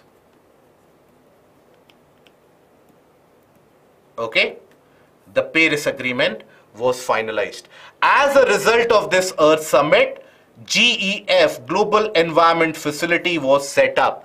As a result of the Stockholm Conference, UNEP, United Nations Environment Program, that was set up. In the meanwhile, in this duration, you had national laws and national legislation to adhere to the requirements of the Stockholm. So that is when national laws were also passed in. So you had the first of them in 1972, you had the Wildlife Act, Wildlife Protection Act. Then in 1974, you had the setting up of Water Act, protection of pollution. It is under this act that you had the establishment of CPCB, Central Pollution Control Board. Then in 1980, you had the setting up of the Forest Act. Then in 1981, the scope of CPCB was further increased and augmented and enhanced to control the air pollution as well. That is when Air Act was passed. Then in 1986, you had the Environment Act which was passed. It was a kind of an umbrella legislation to provide legislation and conservation to the entirety of the environment. So this is in a concised manner the compilation of majority of the climate based action that you will come across and the nature based action that you will come across. If you refer to this and if you uh, always follow this kind of a timeline, it will be very easy for you to be able to solve any kind of question which is framed from here because majority of the candidates we face an issue in the sense that we are unable to understand when to think or which body has been set up under what mechanism. So that is where this will come in handy. And obviously you can augment it in various methods. For example, you can talk about for example, in 1985, in the meanwhile, you had the Vienna Convention on ozone depletion. and that Vienna Convention was further supplemented in 1987 by the Montreal Protocol. In 2016, you had the Kigali Amendment to Montreal Protocol. Kigali uh, Amendment to Montreal. Okay. So this kind of a pattern can be used. Okay. This is going to help you significantly in terms of examination as well. CBD and CCD, so Convention to Combat Desertification, their conference of parties are held again just like CBD every two to three years. So here in CBD and CCD, in both of them, we have around 15 conference of parties which have been held as of now. CITES, 19 conference of parties, UNFCCC, here you have had 27th Conference of Parties which was held in Egypt, Sharm el-Sheikh in Egypt in 2022. This is where COP is held annually. Annually. In rest of the cases, it is not held annually. So the next Conference of Parties to UNFCCC is going to be held where? When you think about it, where is it going to be held? Very good. It is going to be held in Dubai. So 28 COP will be held in Dubai. Okay? That is in 2023. Okay? Now, moving on to the next question. In the context of the IPCC releasing the latest sixth assessment report, consider the following statements. Assessment report is a single detailed document released every few years by the IPCC in order to indicate the changes due to global warming. Assessment Report 6 or AR6 has indicated the need for the world to be carbon negative from 2050 onwards. Then IPCC was formed in 1988 by the World Meteorological Organization and United Nations Environment Program. Which of the following statements is or are correct here. So here, take 20 seconds. Rio plus 20 is not Montreal, no.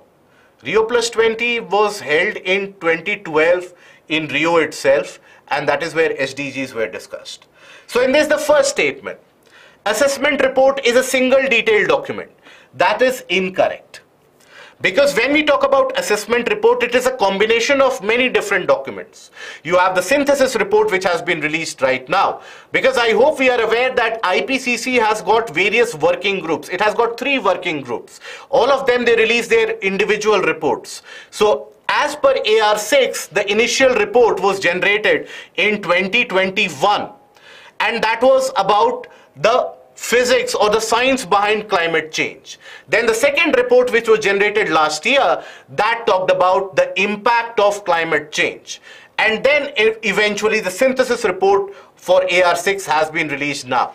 So here also when we talked about the IPCC and the first assessment report, remember I told you that it was in 1990 and 91 where the reports were presented. So the first statement is incorrect. Now, then AR6 has indicated the need for the world to be carbon negative. That is correct. Why? Carbon negative means what? Carbon negative means you absorb much more or you sequester much more than what is produced overall. Okay? Now, IPCC was formed in 1988 by WMO and UNEP. That is going to be correct. So here which of them are correct? So you will have C, that is 2 and 3 only, which is going to be the correct answer. Good to see majority of you have given the correct answer in this. Now, with reference to the Global Methane Pledge, consider the following statements. It is an initiative launched by the United States and the European Union. More than 100 countries have become a part of this, including India.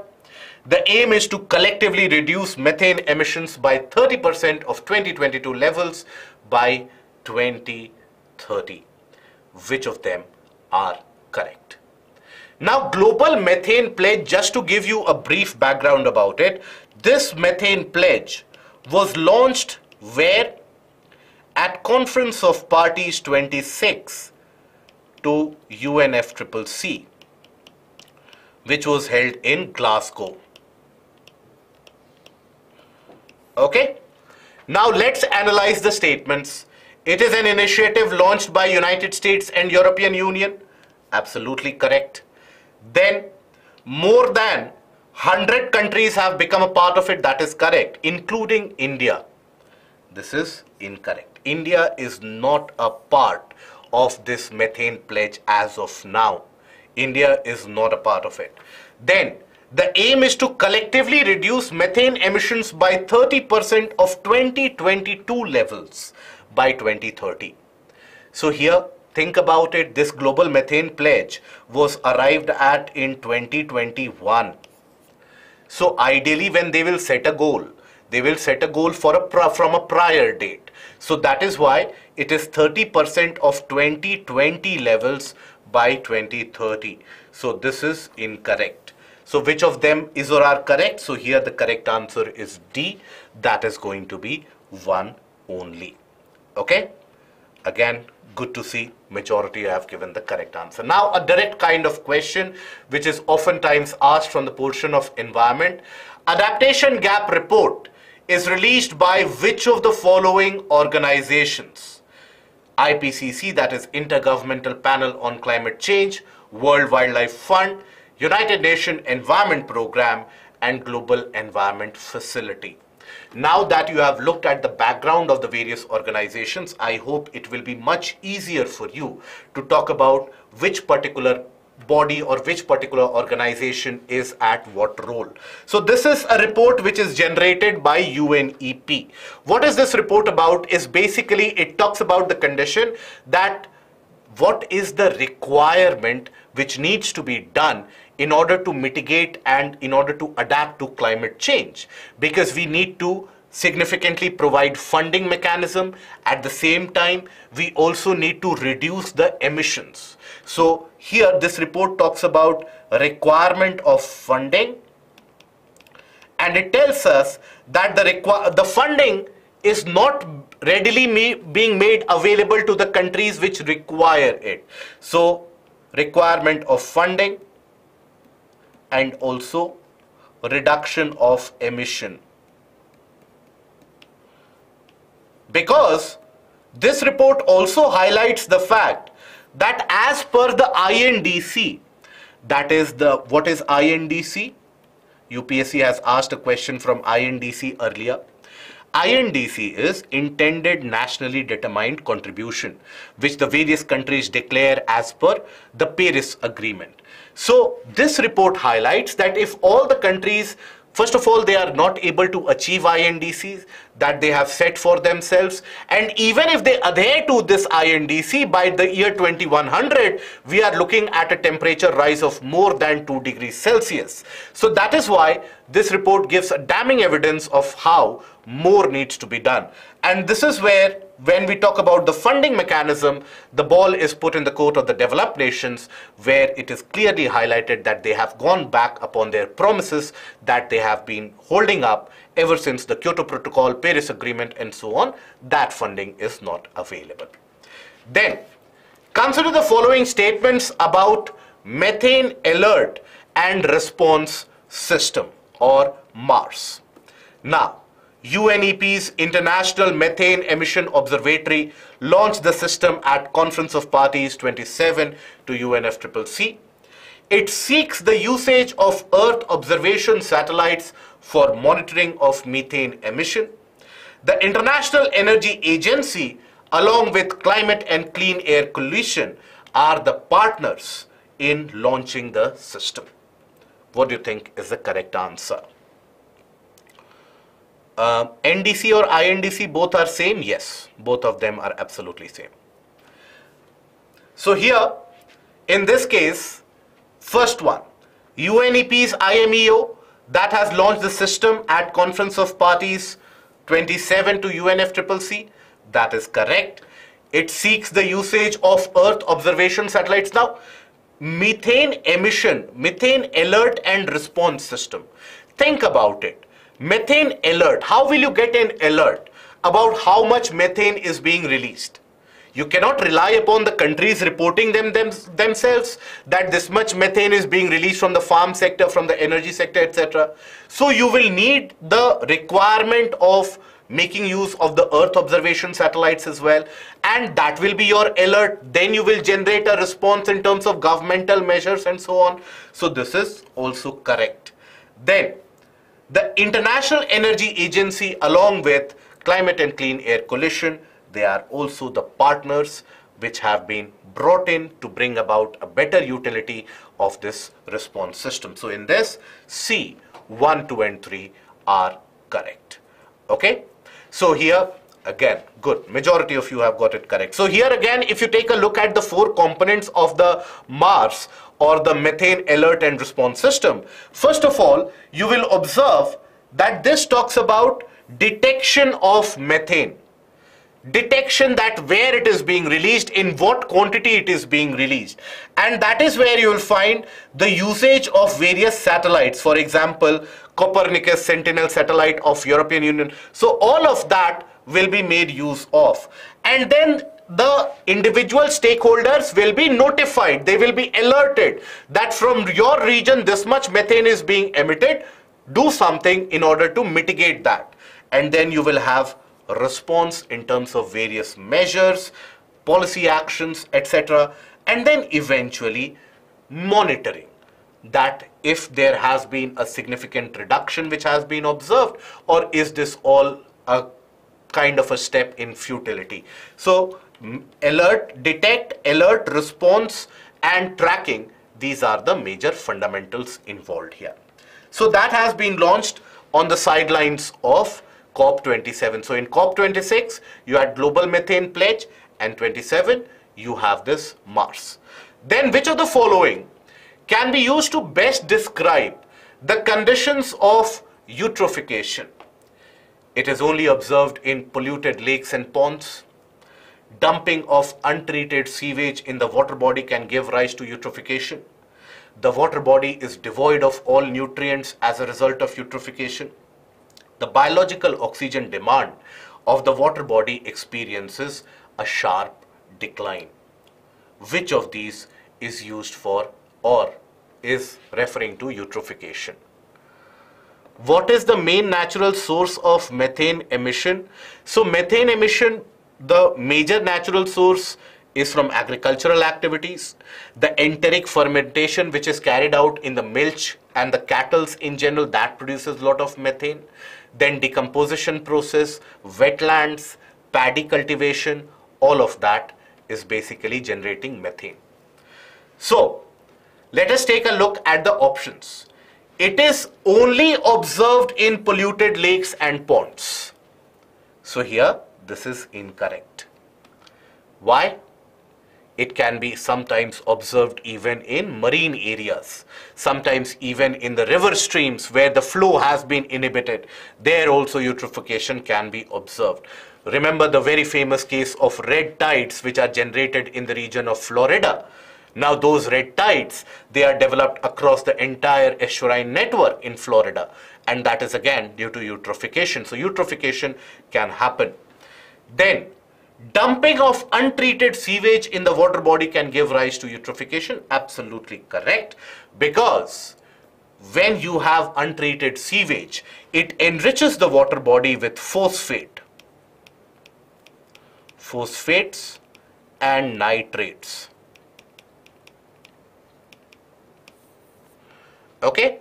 And this basically can give rise to the harmful algal bloom. Harmful algal bloom. So the second statement is correct. The third statement, water body is devoid of all nutrients. This is incorrect. Why? Because when you have eutrophication, eutrophication in the simplest of terms mean that there is an overloading of nutrients rather than getting devoid of nutrients. So Third is incorrect. Fourth, biological oxygen demand of the water body experiences a sharp decline. This is also going to be incorrect because the BOD is going to increase. BOD exponentially increases. Why? It exponentially increases. So if you observe here in this situation, when we talk about eutrophication, so you have a water body which is enriched with nutrients. Eutrophication. And understand the aspect and chronology of it once and for all. Okay, it's surprising that in this case, majority of you gave the incorrect uh, or correct answer. Very good. I thought incorrect. Now, eutrophication here means overloading with nutrients. Right? Now as a result of that what happens is harmful algal bloom or HAB which is initiated that is when the entire region is covered by a greenish film or a reddish tinge depending upon what kind of algal bloom is being observed. Now these algae they are not immortals they will die as well now when they die, they will basically be deposited at the base. At the same time, when this algal bloom happens, they spread over the entire film or the surface of water. So in that manner, what they do is they block sunlight, sunlight for other aquatic plants reducing the production, reducing the oxygen generated. Then after that, here, less oxygen generated. Then this harmful algal bloom also means greater decomposition by aerobic bacteria. Aerobic means they make use of oxygen. Aerobic microbes. Now they are using oxygen means water gets devoid or of oxygen or water turns hypoxic. And when the water turns hypoxic, that means the entire region gets converted into a dead zone water body gets converted to a dead zone. Meaning, it can no longer support life. That is why many of the times you would have come across newspaper headlines and articles and images indicating various different ponds and lakes in our cities. Suddenly, populated with dead fishes on the surface. Suddenly you have 100, 150 dead fishes floating on the surface. That is a result of eutrophication leading to harmful algal bloom, leading to the entire oxygen content being consumed by the organisms which decompose these dead algae and that is what turns the water body into a dead zone.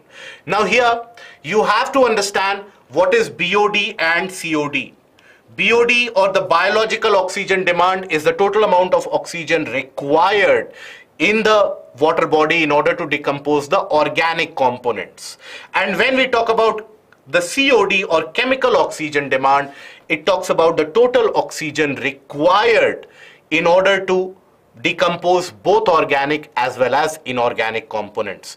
Always you will find that chemical oxygen demand chemical oxygen demand is always going to be greater as compared to biological oxygen demand.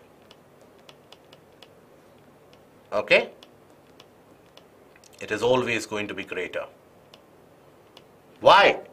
Because if you consider the total amount of waste in the water body, it will always include both organic and inorganic and that is when COD gives you a correct picture.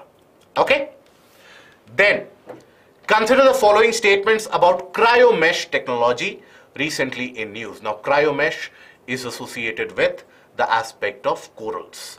So, it provides a boost for the growth of corals, ensuring a quick development of reefs. They can be helpful in preserving the genetic diversity of corals. this was implemented successfully in the Gulf of Kutch region to ensure sustainability of coral reefs. So which of them they talk about cryomesh? So the first statement, it provides a boost for the growth of corals, ensuring a quick development of reefs. That is not the purpose of cryomesh. What is the purpose of cryomesh? Cryomesh is basically designed in order to preserve the genetic diversity of the corals.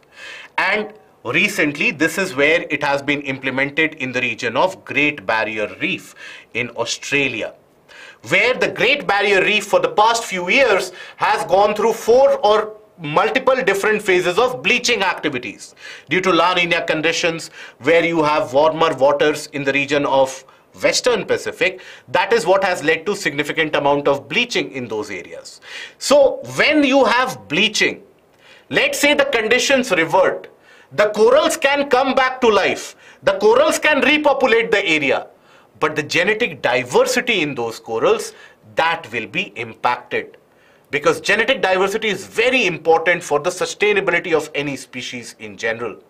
So that is why the larvae or the larval stages of the corals, they are basically frozen on this cryomesh to be reintroduced in order to ensure the maintenance of genetic diversity.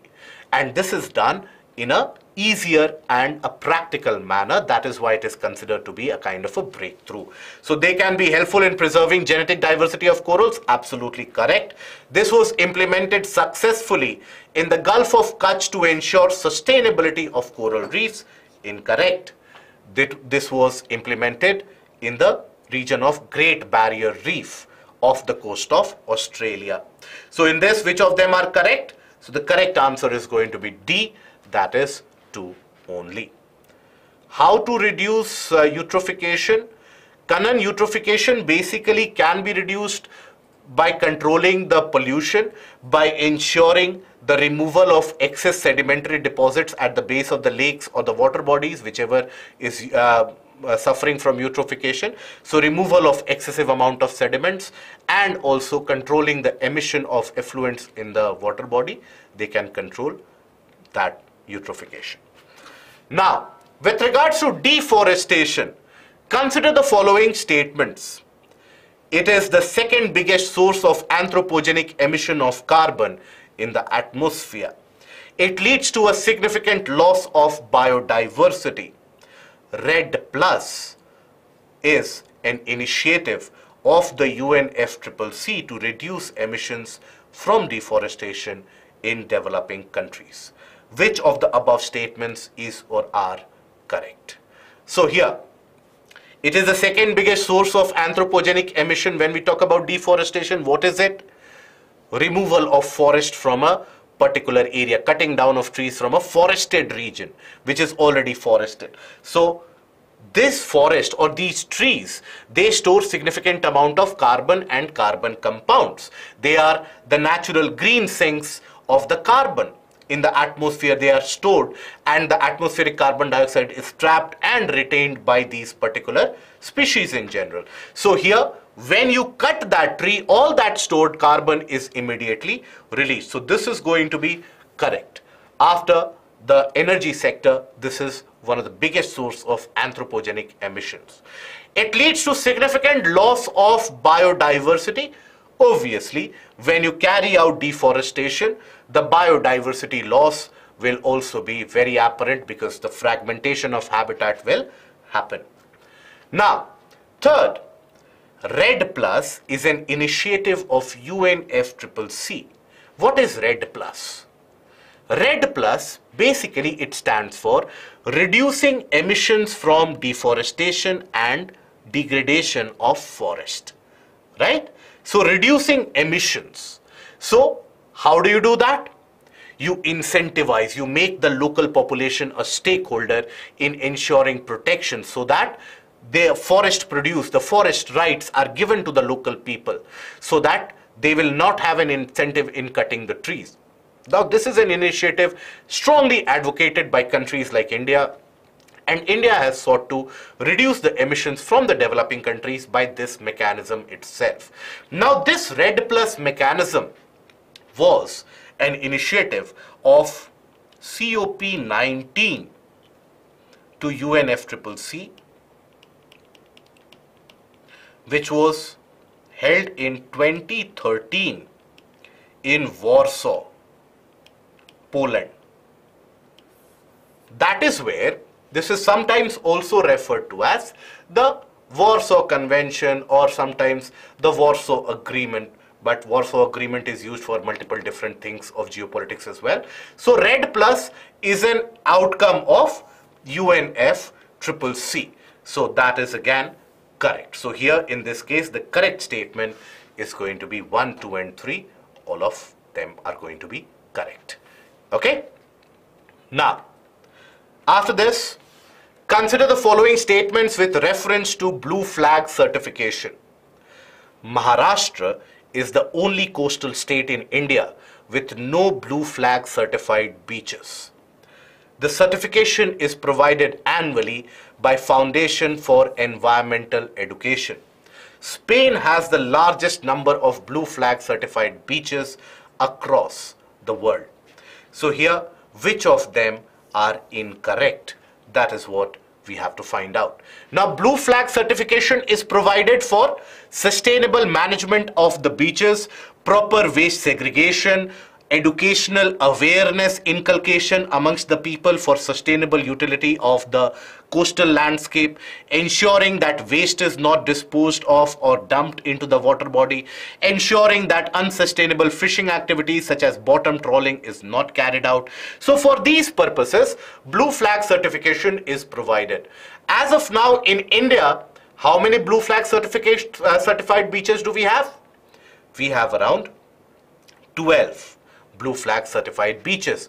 Latest of them is the Thundi Beach and the Kadmat Beach of Lakshadweep which have been given this certificate. That is why this has been in news. Now if we take a look at it, then Maharashtra is the only coastal state in India with no blue flag certified beaches. This is incorrect. Which is the other state which doesn't have any kind of blue flag certified beaches? The other state is West Bengal. West Bengal is a, coastal state in the country which doesn't have the blue flag certified beaches along with Goa. They also don't have any blue flag certified beaches. Then the certificate is provided annually by FEE, that is correct. Spain has the largest number of blue flag certified beaches in the world. This is also going to be correct. Overall, you have more than 4,000 blue flag certified beaches across the entirety of the world. So which of them are incorrect? You have the answer that is A, that is one only, that is incorrect. Okay. Now these are the beaches which have been provided with the uh, blue flag certificates. Ideally, these are only 12 in number. You should not have any difficulty in knowing that. Now, uh, what is bottom trawling? It is not trolling, it is trawling. So bottom trawling is a kind of a fishing activity where you attach a net which is fixated to the boat and that net scrapes the ocean floor or the sea floor in order to take care of any kind of fishes, vegetation, etc. which can be extracted in the process. Now that is very unsustainable and leads to significant amount of uprooting of the individual coral polyps, gives rise to coral bleaching in that region and also muddies the water significantly, destroying the pristine habitat and the much fragile habitat for many of the marine species. That is bottom trawling. Okay? So that is where we'll restrict the session here for today. Tomorrow when we get together again, we shall be initiating the discussion from here on. And tomorrow we shall be focusing upon the prominent protected areas which have been in news and we shall be taking up questions from that aspect and day after tomorrow we shall be moving on to the species oriented discussion. So that is all from my side. I hope that today's discussion has been helpful to you. How many questions you have got correct or incorrect? Please let us know in the comment section. If you like the video, don't forget to click on the like, share and the subscribe button. So till we meet again tomorrow, take care of yourself. Goodbye and have a good night.